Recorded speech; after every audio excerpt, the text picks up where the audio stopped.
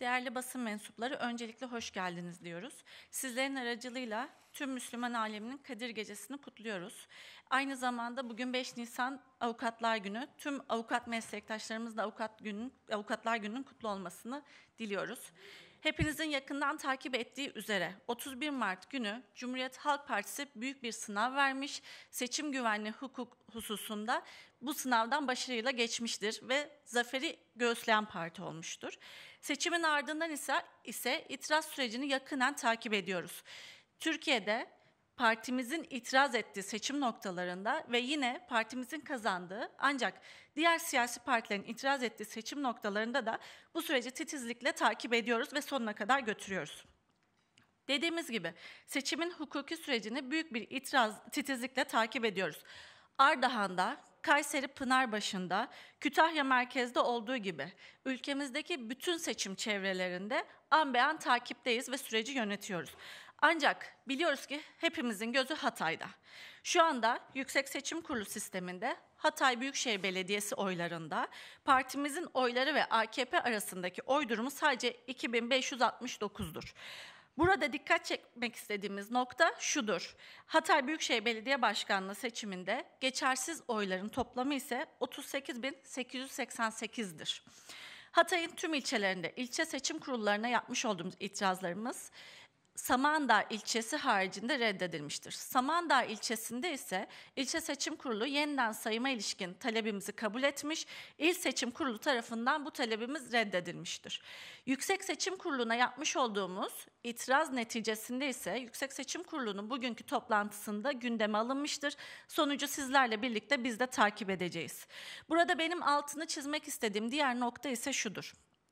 Kütahya'da, Gazi Osman Paşa'da İktidar partisinin itirazları aynı gerekçelerle kabul edilirken Hatay'da bizim aynı gerekçeyle yapmış olduğumuz başvuru ise hukuksuz bir şekilde reddedilmektedir ve bu hukuki bir zorbalıktır. 39 bin oyun, yaklaşık 39 bin oyun geçersiz oldu Hatay'da seçim kurulu eliyle büyük bir hukuksuzluk yapılmaktadır. Ben buradan tüm seçmenlerimize seslenmek istiyorum. Nasıl ki 31 Mart gecesinde Cumhuriyet Halk Partisi olarak bütün Türkiye'de sandıklara sahip çıktık ve hepimizin oyları, seçmenlerimizin oylarını koruduysak bugün de Hatay halkının iradesini korumaya devam ediyoruz. Sandık iradesine ipotek koymaya kalkanlara asla ve asla müsaade etmeyeceğiz. Buradan seçim kurullarını ve Yüksek Seçim Kurulu'nu adil ve hukuka uygun bir şekilde davranmaya davet ediyoruz. Hatay sürecinin başından itibaren Sayın Genel Başkanımızın görevlendirmesiyle Sayın Genel Başkan Yardımcılarımız Sayın Murat Bakan ve Sayın Gökçe Gökçen Hatay örgütümüzle birlikte süreci yerinde takip etti an be an istişarelerde bulunarak reaksiyonlarımızı, hukuki reaksiyonlarımızı orada yerinde gerçekleştirdik. Ancak artık süreç Yüksek Seçim Kurulu'na taşınmış durumdadır. Buna ilişkin ayrıntılı bilgilendirmeleri kendileri yapacak olup bütün seçmenlerimizin özellikle Hatay halkının süreci yakından takip ettiğimizi bilmesini ayrıca isteriz. Teşekkür ediyorum. Evet, değerli basın mensupları hoş geldiniz. Hatay ilk genel başkanımız Gazi Mustafa Kemal Atatürk'ün şahsi meselem dediği kenttir. Son genel başkanımız, şimdiki genel başkanımız Özgür Özel'in de şahsi meselesi olarak gördüğü kenttir. Türkiye'de tüm seçmenlerin oyu elbette önemli. Başkanımız söyledi her seçmenin oyuna sahip çıkıyoruz ama Hatay ayrıca önemli. Hatay son depremde 23 bin insanımızın, 24 bin insanımızın resmi rakamlara göre hayatını kaybettiği ve insanları konteynerlardan çıkarak yani bir varoluş mücadelesi verirken bir taraftan diğer taraftan da konteynerlardan çıkarak yurttaşlık görevini e, kullanıp yapıp oy kullandığı kenttir. Dolayısıyla bizim için Hatay'daki seçmenin oyu bir başka önemli. Sayın Genel Başkanımız seçim gecesi bizi aradı. İki Genel Başkan Yardımcısı 10 milletvekili arkadaşımızla beraber Hatay'a gittik. E, bugün bugün Ankara'ya geldik. Süreci Ankara'dan Yüksek Seçim Kurulu'ndaki süreci takip etmek üzere 5 ee, gün Hatay'da tüm itiraz süreçlerini yürüttük. İşin iki boyutu var. Bir siyasal boyutu var, bir hukuki boyutu var. Aslında seçimde bir ayrıca bir siyasal boyut olmaması gerekir. Yani seçim yasaklarından sonra bu işle ilgili bir siyasal değerlendirme yapmamak gerekir. Ancak Hatay'da durum böyle değil. Bir siyasi müdahale var. E, seçim günü e, Reyhanlı'da yaşananlar, Reyhanlı'da sandıklar açıldıktan sonra sınırın öteki tarafından Doçkalarla, Kalaşnikovlarla kutlama ateşi yapılması e, Suriye Milli Ordusu taraftarları tarafından e, 500 bin Suriyelinin yaşadığı, e, çok hassas olan dengeleri itibariyle etnik çatışmaların, inanç çatışmaların olma ihtimali hemen Suriye'de iç savaş varken yapıldığı bir kentte çok rahatsızlık verici e, ve düşündürücüdür. Diğer taraftan yine e, Hatay'da seçimin hemen ertesinde Hassa'da e, belediye başkanı adayı olan AKP belediye başkanı olan zatın yaptığı, Samandağ'da e, Aleviler, affedersiniz Aleviler diyerek Alevileri ötekileştiren, hesap sor- soracağını söyleyen, Hatay'ın yüzlerce yıllık, binlerce yıllık kültüründe barışın, kardeşliğin, hoşgörünün kenti olmasına rağmen orada bir kutuplaşma, ayrışma, bölünme yaratacak sözleri bunlara dikkat çekmek lazım. Cumhurbaşkanının gidip Hatay'da seçmeni cezalandırdığına ve bundan sonra da cezalandırabileceğine ilişkin tehdit ettiğine ilişkin sözleri. Bakanların gidip Hatay'da çalışma yapması, İçişleri Bakanı'nın diğer bakanların gidip Hatay'da çalışma yapması ve balık baştan kokar. Buna bağlı olarak oradaki mülki idarenin de sanki devletin valisi, devletin kaymakamları değilmiş gibi e, inanılmaz bir şekilde siyasal süreçlere yani seçim sürecine siyasal müdahalede bulunmaları e, bizim yaşadığımız şeyler. Bir noktaya dikkat çekmek istiyorum. Biz e, tüm ilçelerde itirazlarımızı yaptık geçer soyların sayılması ile ilgili. Mesela buradaki siyasal müdahaleye örnek olarak göstermek gerekirsek e, Antakya Bir Nolu Seçim Kurulu'nda oyların sayılması yani geçersiz oyların ve gerekçesi belirtilmeyen geçersiz oyların sayılması ile ilgili itirazımız üç defa oylamada sayılsın denmesine rağmen ara verilerek e, siyasal iktidar tarafından telefonlarla baskı yapılarak dördüncü defa oylamayla reddedilmiştir. Yani burada işin bir hukuki süreci var. O hukuki süreci biz zaten dört başı mamur yürütüyoruz. Hatay İl Örgütümüzle beraber il başkanımız da bugün burada bu süreci daha ta- takip etmek üzere bizimle beraber buraya geldi. Diğer taraftan işin bir de e, siyasal boyutu var Hat- Hatay'da. E, biz buradan şunu ilan ediyoruz. Hatay'da siyasal baskılarla seçim kurulları üzerinden alınacak bir mazbata ne hukukidir ne de meşrudur. Geçersiz oylar yeniden sayılmazsa ve mazbata AKP adayına verilirse Hatay'da meşruiyeti tartışmalı, hukuki meşruiyeti tartışmalı bir kişi belediye başkanı ol- olacaktır. Hatay'ı yıktılar. Şimdi mücadelemiz mücadelemiz rant için Hatay'a çökmelerine izin vermemektedir. Hukuki süreci e, Sayın Genel Başkan Yardımcım Gökçe Gökçen yaşadığımız hukuki süreci özetleyecek. Ben sözü kendisine devrediyorum.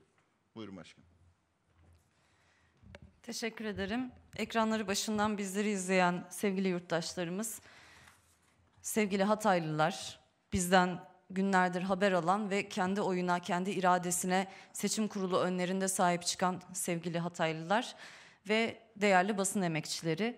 Öncelikle burada Hatay'ın iradesinin sesi olduğunuz için, bir vesile olduğunuz için sizlere teşekkür ediyoruz.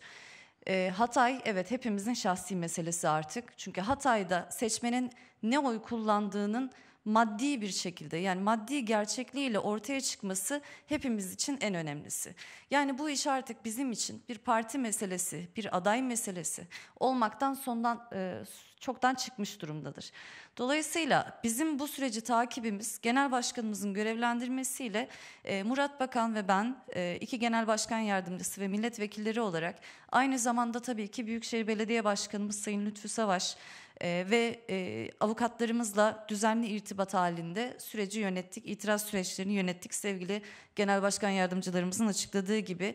Aynı zamanda il ve ilçe örgütlerimizde de bu süreci takip ettik ve etmeye de devam ediyoruz. E, günlerce Hatay'daydık ve anlık olarak bu dilekçelerimizin, e, delillerimizin e, düzenlenmesinin, kanıtlarımızın ortaya konmasının yakın bir takibini yaptık. Artık süreç kısmen il seçim kurulunda devam etmiş olsa da büyük ölçüde yüksek seçim kuruluna gelmiş durumda. Dolayısıyla yüksek seçim kurulunda verilecek olan karar Hatay halkının iradesinin yansıması için hala bir acı yaşıyor olan, daha geçtiğimiz yıl sevdiklerini kaybetmiş olan, şehrini hala ayakta tutmaya çalışan ve o e, yıkılan binalar arasında e, gözyaşlarını silmeye çalışan Hatay halkının ne düşündüğünün ortaya çıkmasıdır bizim mücadelemiz. Öncelikle bunu ifade etmek istedim. Şimdi ilk gün gittiğimiz zaman fark 3890'da iki aday arasında. Yani Büyükşehir Belediye Başkanımız Lütfü Savaş ve AKP'li aday arasındaki fark 3890 olarak görünüyordu resmi verilerde. Bugün itibariyle 2569'a kadar gerilemiş durumda. Ve bu sadece ilk itirazlar maddi e, hataların düzeltilmesi başvuruları sonucunda gerçekleşti. Yani bizim bu mücadelemiz söylemiştik tek bir oyun bile peşine düşeceğiz diye ilk günden bugüne 1455 oyumuzun vaktinde hukuka aykırı şekilde yazılmamış olduğunu tespit etmiş olduk. Ve süreç devam ediyor söylediğimiz gibi. Toplam geçersiz oy sayımız yaklaşık 38.900. Hatay Büyükşehir oyları için söylüyorum. 298 sayılı seçim kanununa göre bir geçersiz oy varsa o geçersiz oyun neden geçersiz sayıldığının gerekçesinin tutana, tutanağa işlenmiş olması gerekiyor. Fakat gördük ki Hatay'da birçok geçersiz oyun gerekçesi bu şekilde yazılmamış ve geçersiz oyların sayısı iki aday arasındaki oy farkının 15 katını geçer duruma geldi artık. Dolayısıyla bizim itirazlarımızın sonucu artık seçim sonuçlarına kolaylıkla etki edebilecek bir noktaya gelmiş durumda. İstanbul Gazi Osman Paşa'da biliyorsunuz bir yeniden oy sayımı gerçekleşti ve sonuç değişmedi. Yine Cumhuriyet Halk Partisi lehine oldu. Ama orada seçim kurulunun kararı iki aday arasındaki farkın e, geçersiz oyların neredeyse onda biri olduğuna yönelik bir gerekçeyle yazılmıştı. Yani burada Hatay'da daha da büyük bir farktan söz ediyoruz. 15'ten fazla 15 kattan fazla bir farktan bahsediyoruz bugün itibariyle. Dolayısıyla orada bir oy sayımına başlanmıştı İstanbul Gazi Osman Paşa'da. Ama Yüksek Seçim Kurulu bu oy sayımına müdahale etmedi. Dolayısıyla oy sayımı devam etti ve tamamlandı. Yine Cumhuriyet Halk Partisi lehine bir sonuç ortaya çıktı. Ama ilk başta AKP'nin düşünmüş olduğu düşünmüş olduğu Cumhuriyet Halk Partisi'nin aleyhine bir sonuç yaratma amaçlı başvuruydu. Ve Yüksek Seçim Kurulu buna herhangi bir müdahalede bulunmadı. Ama Samandağ'a geldiğimiz zaman ilçe seçim kurulunun bir yeniden oy sayımı kararı vardı. İlçe seçim kurulu böyle bir karar vermişti. Ancak bu karar iki gün boyunca bekledik ve tüm itirazlarımıza rağmen, tüm taleplerimize rağmen bu verilmiş olan karar uygulanmadı ve oy sayımına bir türlü geçilmedi. Ardından Hatay Seçim Kurulu bir karar verdi ve Samandağ'daki yeniden oy sayımı kararını ortadan kaldırdı. Şimdi şunu paylaşmak istiyorum. Kırklareli Kaynarca'da, Kırklareli Üsküp'te, Ordu Ulubey'de de Gazi Osman Paşa'daki gibi bir durum vardı ve oylar sayıldı. Kırklareli merkeze geldiğinde, Hatay Büyükşehir'e geldiğinde oyların aynı gerekçeyle ve üstelik bizim itirazlarımızın hepsi somut delillere dayalı. Aynı gerekçeyle bu sefer sadece Cumhuriyet Halk Partisi başvurduğu için, sadece muhalefet başvurduğu için bu oyların sayımı kararı bir türlü çıkmıyor. Şimdi yeniden sayım kararı muhalefet lehine ise yapılmıyor. Yeniden sayım kararı AKP'nin lehine olacaksa o zaman yeniden sayım kararı çıkıyor. Diğer yandan biraz önce Genel Başkan Yardımcımız da ifade etti ama biraz açmak istiyorum. Antakya 1. İlçe Seçim Kurulu'nda yaşanan bir olay var ve bu tutanaklara geçmiş bir olay. Antakya 1. İlçe Seçim Kurulu'nda 2 Nisan tarihinde verilmiş olan bir karar. E, bu karara baktığınız zaman iki adet karşı oy yazısı var. Kararın çoğunlukla verilen karar Cumhuriyet Halk Partisi talebinin reddedilmesi yönünde. Yani yeniden oy sayımının, geçersiz oyların sayımının reddedilmesi yönünde bir karar. Ve karşı oylarda yazılan olay şu. Bir kere oylama yapılıyor. Cumhuriyet Halk Partisi'nin talebinin doğrultusunda bir oylama sonucu çıkıyor. İki kere oylama yapılıyor. Aynı şekilde sonuç çıkıyor. Üç kere yapılıyor. Aynı doğrultuda sonuç çıkıyor ve ara veriliyor usule aykırı olarak. Bir müzakere yaparsınız, bir kere oy, oylarsınız ve bir karara bağlarsınız, tutanak altına alırsınız, imzalarsınız. Ama burada üç kere oylama yapılıyor Cumhuriyet Halk Partisi lehinde Ondan sonra verilen aradan sonra dördüncü oylamada bazı üyeler fikir değiştiriyor. Ve ondan sonra yeniden sayımın reddedilmesi yönünde bir karar çıkıyor. Bu da Antakya'da e, ve 6 binden fazla geçersiz oy olan Antakya'da yeniden oy sayımından ne kadar çekinildiğini gösteriyor bize göre. Ve aynı zamanda bir siyasi baskının da burada olduğunu, baskı, tehdit, yönlendirme gibi e, unsurların sürece etkili olduğunun bir kanıtıdır. Aynı şekilde mazbata meselesi var. 2019'da Yüksek Seçim Kurulu'nun vermiş olduğu bir karar var. Ve Yüksek Seçim Kurulu o zaman şunu söylemiş. İtiraz süreçleri sonuçlanmadan mazbata işlemlerini yapmayın. Ve 2019'da verilmiş olan bu karar e, bu yılda tekrarlandı ve Yüksek Seçim Kurulu yine aynı doğrultuda bir karar verdi. Buna karşılık Hatay'da AKP e, mazbatanın verilmesi için başvurularda bulunuyor. Hem ilçelerde hem büyükşehire dair. Dolayısıyla bu mazbataların verilmesi işin henüz itiraz süreci sonuçlanmadan hem de her geçen gün fark azalırken ve yeniden oy sayımına dair henüz Yüksek Seçim Kurulu bir karar vermemişken sürece etki etmeye ve bir oldu bittiye getirme amaçlıdır. Dolayısıyla buradan uyarıyoruz Yüksek Seçim Kurulu'nu. 2019'dan hatırlayalım. AKP kaybettiğinde, Cumhuriyet Halk Partisi kazandığında 17 gün oylar sayıldı. 17 gün gece gündüz vatandaşlarımız oy saydılar, nöbet tuttular, çuvalları beklediler ve süreci titizlikle takip ettiler.